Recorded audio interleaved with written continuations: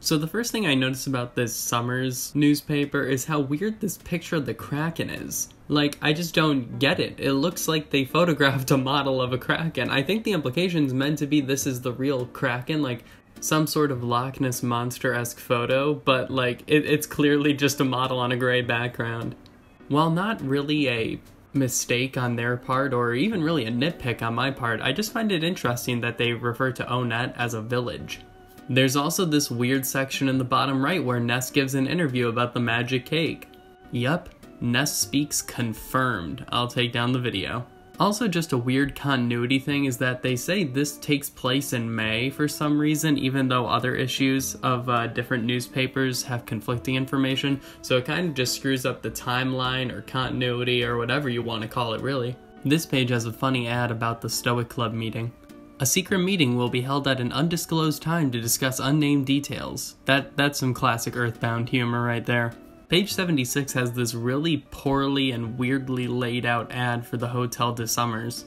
Like, damn, this is ugly. Like, you think I'm gonna see this and then say, oh, $150 per person per night? That seems fair. Although, of course, they never come into play in the game, the Natural Culture Museum ad on the next page actually lists business hours for the museum, which I just think is a nice touch even if, let's be honest, it didn't take all that much thought to do, it's just a nice little touch that makes the world feel that much more alive. Something strange about this page is that it makes no mention of Tony's phone call to the player and Jeff after you get the Stoic Club number, which is weird because it comes into play in a pretty major way later in the game, so it's just kind of weird to me they didn't think it was worth mentioning. Dalaam today on the next page actually has an interview with Pooh, so there's two characters that canonically talk to newspapers and give interviews during the adventure. Another pretty interesting thing about this page is it's the source of that iconic official artwork of the Franklin badge that we're all too familiar with in the United States. Although, of course, it doesn't even come close to the beautiful and magnificent official artwork that is the Franklin badge for the original Mother. The bottom of the page actually lists a bunch of the 1 in 128 drops, but erroneously states that the Bionic Kraken drops the legendary bat instead of the Gutsy bat, though believe me, that's not the only problems with Gutsy bats and Krakens in this guide. Right next to this is a breakdown of Paula's prayer ability, which I just, you know, although helpful, just kind of a weird place to put it, you know? Like at this point, you've had Paula for several hours. We're, we're at Dalaam. I feel like this breakdown should have probably been in the Twoson Tribune or at least like the Threed newspaper at the very latest. On the next page, this free firewalk ad is pretty funny. For a limited time only, Firewalks for You is offering one free introductory walk on fire to the first 50 people who respond to this ad. It's a $50 value and it's valid for a limited time only, so act now to reserve your space. I also like that it says this event will take place at the Rama Coles, which is in all likeliness, in reference to the original Japanese name for Dalaam, which is Rama or Ranma. Page 80 is interesting because it characterizes Pooh as a bit of a player apparently. Pooh is popular in the land of Dalaam, and he seems to be a hit with the ladies. He is wise and powerful and not bad looking if you're into semi-bald guys with ponytails.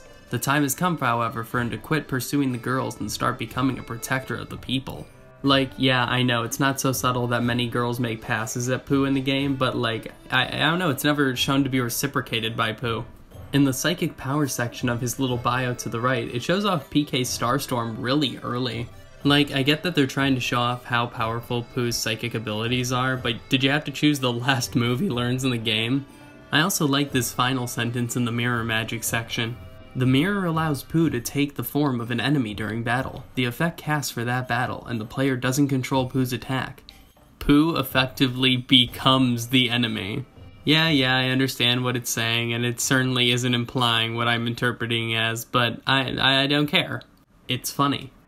On page 81, there seems to be a slight typo in the tough guy's bio. It calls him a beach bum with a B instead of beach bum. Now, I thought this might just be some sort of slang, but I was I was searching and looking it up and I couldn't find anything matching this. So, if if it is something, let me know because last time I was wrong about the one-armed bandit, which apparently is slang for slot machine. The bio for the Kraken below is also interesting. It starts with, when your party returns from Fourside, seeming to imply that you need to have acquired the melody of Magnet Hill before you can go to Scaraba, but this just isn't the case. On page 82, under the section The Fourside Natural Museum, it specifically goes out of its way to say that the dinosaur bones are not real. Which conflicts with an interesting piece of continuity that the bones are supposed to be dinosaur bones from the Lost Underworld, foreshadowing the dinosaurs later in the game. So I don't know why they would go out of their way to make this make less sense, but who knows? I'm not a professional writer. Something I didn't know is that if you see Venus before talking to Mr. Spoon at the Fourside Museum, she'll actually be too busy to give you an autograph. So I, I just never knew this because I never bothered seeing her before I needed to. Also, I gotta say, near the end of this section, th- this picture of them heading into the manhole in the back room is is just kind of weird and really makes it clear to me just how odd it is that this is just in the back room of a museum. I'm sure there's some super deep lore in one of the Mother 2 comic books from the 90s, but uh, I, I haven't read them. Something really weird is that Thunder and Storm's bio on page 83 implies that you can attack them separately, but there is no way to do this in game. I don't know what led them to write it like this. I don't know if it's just a straight up error, but in any case, you can't attack them separately.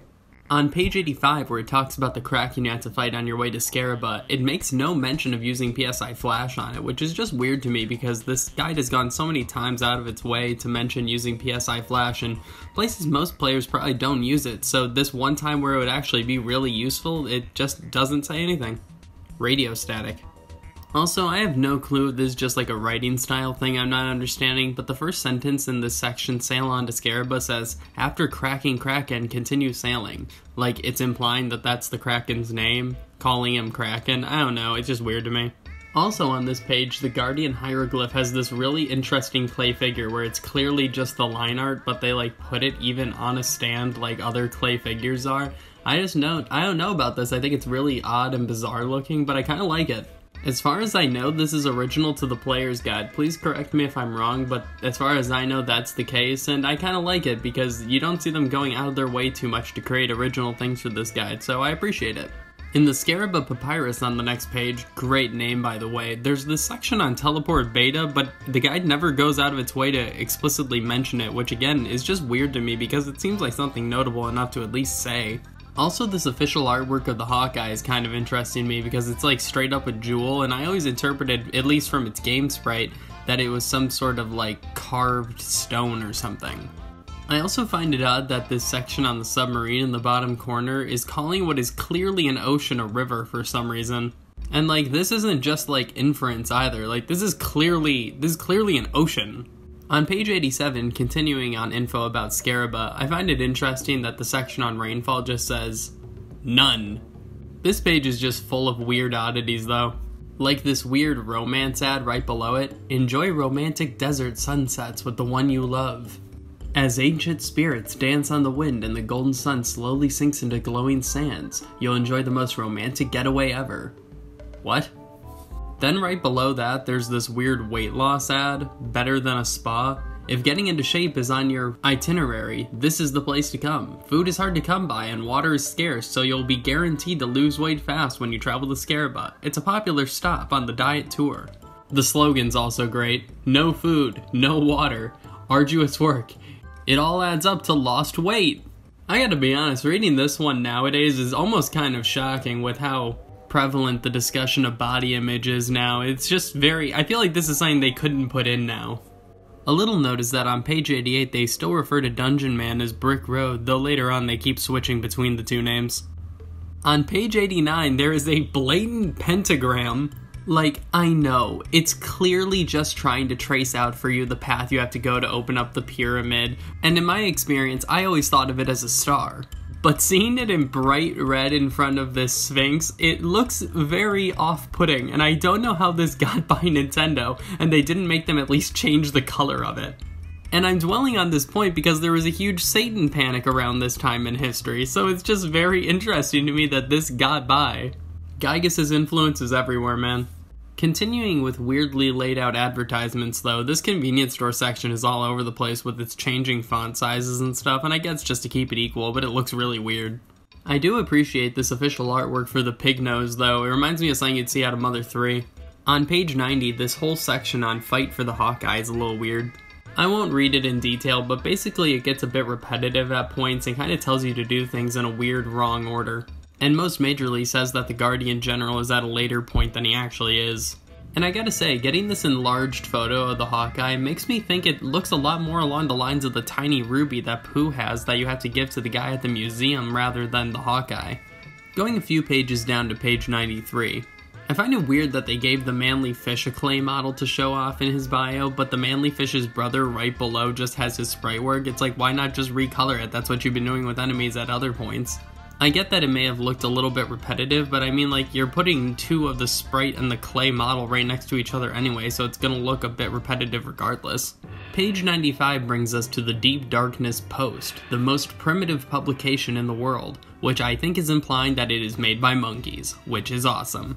In the bottom corner, it's clearly a stock photo, but this official artwork of the Sword of Kings is pretty cool. Which Pooh apparently also puts on display in Fourside. I don't know, this, this whole section's kind of weird to me. Weapons experts and historians are flocking to Fourside to view the Sword of Kings, a rare relic recently unearthed by Prince Pooh. The ancient blade is the first weapon ever used by the prince, it's a perfect weapon for him. I mean, a Sword of Kings for a budding prince? Can you think of anything better? remarked medievalist Nancy Ramsey. The exhibit concludes tomorrow. Nice to know that our chosen heroes took a little vacation to do a museum exhibit. The last thing I want to mention about this page is that apparently, like the Mr. Saturn, the Tenda are known to the world. They're again, like the Mr. Saturn, written in this paper like everybody knows what they are already. I guess it isn't so special that Ness and his friends were able to reach these locations, huh? And because of this, you know there are some tools in this universe, some rich guys that own houses in Saturn Valley and go up there for the weekend. People like this guy. And with that, on to page 95, which might just be the best page in this whole damn manual, in my opinion. Starting off with this section, Life is a Mere Adventure. Press your luck to its limit and embark on a deep darkness jungle tour. Expeditions depart daily and last until all participants are lost. For a limited time, guests receive a complimentary economy sized bottle of dysentery pills. Take your life in your own hands today. Personal safety can't be guaranteed. Life insurance and photocopy of will required. Award winning location, the world's most dangerous tour. Special discounts for obnoxious people. I mean, we're already off to a pretty bangin' start because that is absolutely hilarious. On the right of the page, the average age is listed as 48 for some reason, which means these are some pretty strong monkeys if they can make it that old. And you guys know what I am literally always saying in every video. Monkeys that can beat me up are awesome. Strong monkeys are always a plus. Hey, remember this bird you can talk to to save your game at the beginning of Deep Darkness? What if I told you he has official artwork? Okay, okay, the audience doesn't seem all that excited. Well, what if I told you this was it? This is amazing! Do not act like this isn't the funniest damn thing you've seen in your entire life. Sakurai, I am begging you, put this thing in Smash. Hobonichi, I'm begging you, please make this a plushie. Also, strangely enough, they bothered giving the monkeys an official artwork, which is surprisingly quite nice and pleasant. It's just by these trees in the game, so I always assumed it was like a gorilla's nest you were sleeping in, but no, they just straight up built a little town, Planet of the Apes, confirmed in Earthbound. And last, but certainly not least for this page, is the wild animal hunting section. No guns necessary, the animals hunt you! Experience the thrill of the hunt from the other end of the barrel. Highly trained primates with high caliber assault rifles stalk you. Like, I seriously have no idea what is the best part of this page. Everything on here is a damn treasure. Monkeys with guns confirmed in Earthbound! As much as I would like to spend the rest of this video series just dissecting the greatness of this page, we do unfortunately have to move on. Page 96 doesn't have any monkeys hunting you, but it does show you all the locations for the magic truffles. This focus section also makes a big deal about the monkey's love item, which I can appreciate. Something I wonder about page 97 is if these screenshots confused kids in the 90s because the one to the right shows Pooh in your party, and there's no way of knowing before that battle that Pooh is going to rejoin you towards the end of it. And the screenshot to the left doesn't make this clear because they're all underwater in a group, so you can't really tell anyway. I'm probably overthinking this, but I just wonder if there were some kids like, oh my gosh, wait, where am I supposed to get Pooh back? Do the monkeys throw him at me? The flowchart to the right of the page doesn't even help this because it just kind of says say hello to Pooh without telling you what to do. It even says defeat Master Barf before that happens. But what do I know? I'm just a stupid monkey. Page 98 calls the Tendas the Tendites, which I think is just cute, and it also calls them blue for some reason, even though they're clearly blue. Damn it! Even though they're clearly green, even in the manual. Also, this section at the bottom of the page, What Happened to Apple Kid, just cracks me up. I mean, look at this, this looks so funny. Just something about this big important text right next to Applekid's straight face, it's just hilarious to me. The section also refers to overcoming shyness as the book on overcoming shyness, which just seems unnecessary to change to me. Like, I get that it makes it more clear to someone who's just reading this without necessarily playing the game, but who's reading this when they're not playing the game? Oh, wait. Page 99 says the hole is now open to Stonehenge, even though it was never closed. The manual even shows Jeff down there earlier. I think it's just trying to say you can now go into the base now that you have the eraser eraser, but it's just really poorly worded. Also, the military Octobot enemy is noted as being rare for some reason, even though it's not. Like, you can find tons of them in this room, what the hell? And finally reaching page 100, the Sword of Kings section. I like that the screenshots in this section show Ness get way stronger between them. Like, you can't really tell with the other three because they're not doing so hot, but Ness has like 150 more HP in this screenshot than he does in the previous. Overall, this section is pretty good, doesn't have any mistakes in it, and I'm sure they'll never make any mistakes regarding super rare items at any point in this guide. Right?